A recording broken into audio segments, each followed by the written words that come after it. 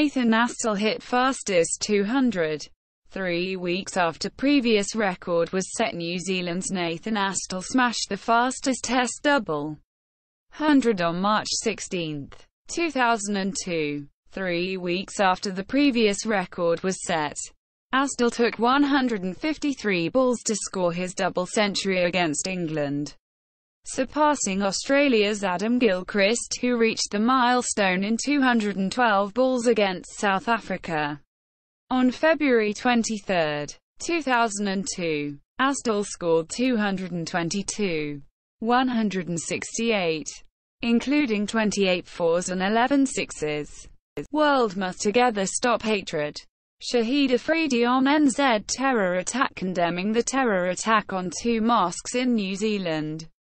Ex-Pakistan captain Shahid Afridi tweeted, World must together stop hatred. Terrorism has no religion. Prayers for bereaved families. May Allah bless the departed. Horrifying tragedy. Christchurch. I found NZ one of safest, most peaceful places. People are friendly. Spoke to Tamim Big Relief B-Desh Squad. Staff is safe, he added. Padma Shri with his Shri Shri Srimati. Gambhir on picture with wife former India cricketer Gautam Gambhir, who received the Padma Shri award today, took to Twitter to share a picture of himself with his wife Natasha outside the Rashtrapati Bhavan. Back to reality with a loud thud.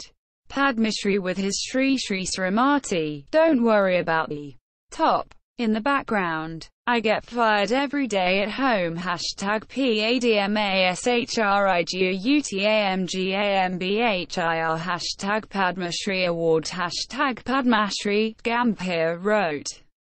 18-year-old Diksha second Indian golfer to win on Ladies European Tour 18-year-old Diksha Dagar on Saturday became the second Indian to win an event on Ladies European Tour after clinching South African Women's Open in Cape Town.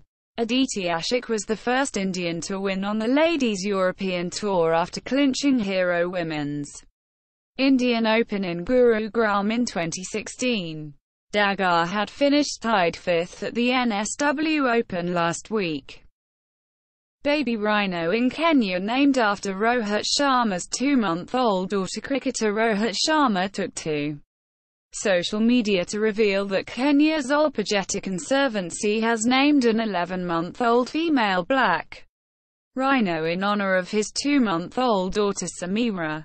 This made us so emotional. Conservation of rhinos is a cause so close to our hearts, Rohit wrote. I can't believe Samaira has a rhino named after her in Africa, he added.